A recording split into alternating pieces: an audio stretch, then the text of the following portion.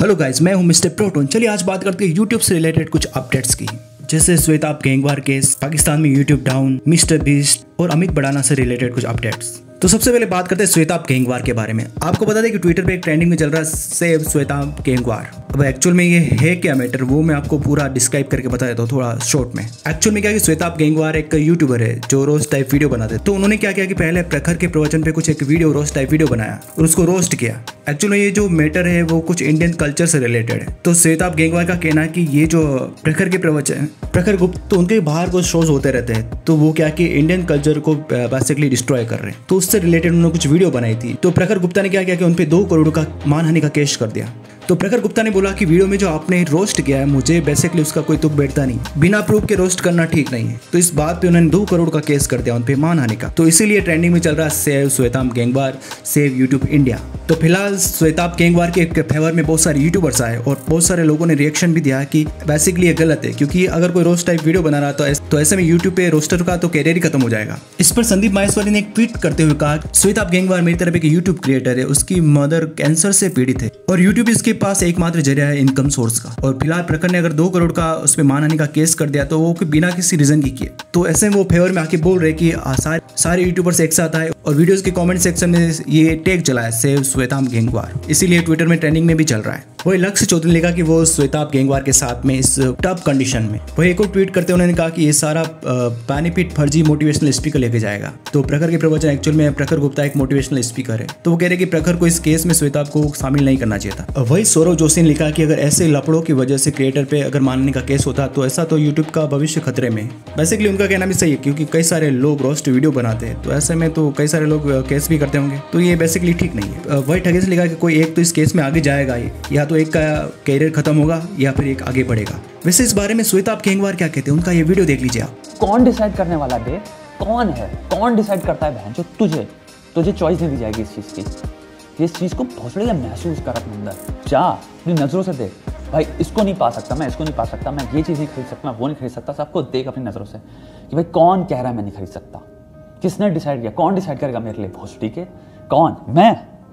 मैं नहीं खरीद सकता ये। मैं नहीं पा सकता इसको। मैं जैसे लोगों के ऊपर बैठूँगा मादर चोत मैं राज करूँगा। खरीदूँगा नहीं मैं।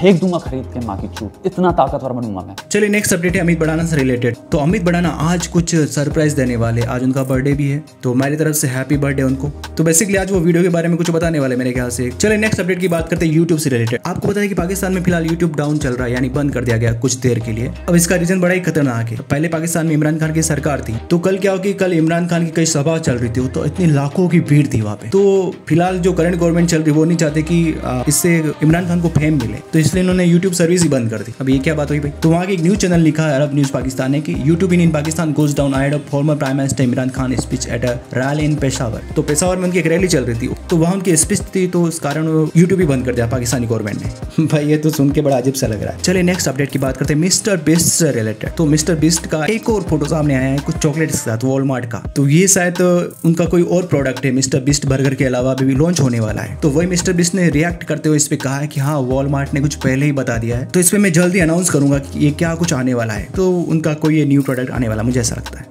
अब नेक्स्ट अपडेट की बात करते हैं क्रिटिकल एक्टर कमाल रशीद खान। उनको फिर से एक बार एक बार फिर से अरेस्ट किया है। तो पहले तो वो ट्विटर वाले विवाद पे जेल में ऑलरेडी थे।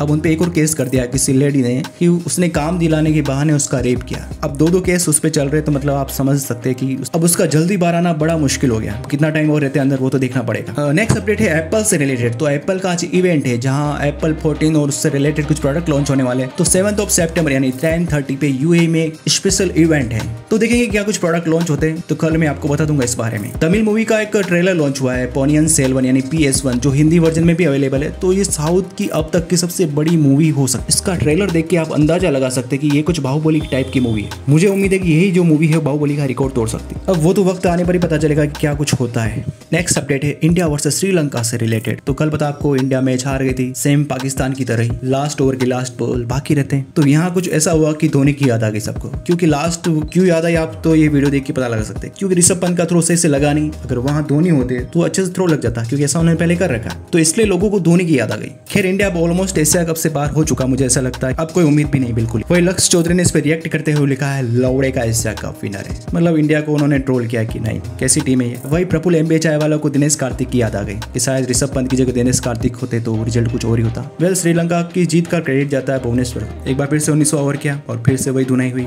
जैसे पहले हुई पाकिस्तान के मैच में। वही किसी यूज़र ने एक ट्वीट किया कि टीम इंडिया को कॉन्ग्रेचुलेसन आपने मुंबई एयरपोर्ट के लिए सक्सेसफुली क्वालिफाई कर दिया। अब फाइनल में आए नहीं आए, लेकिन हाँ मुंबई एयरपोर्ट पर ज़रूर आ जाएगी, जल्दी। आज के लिए बस इतना ही। वीडियो पसंद आए तो लाइक कर देना और चैनल को सब्सक्राइब कर देना।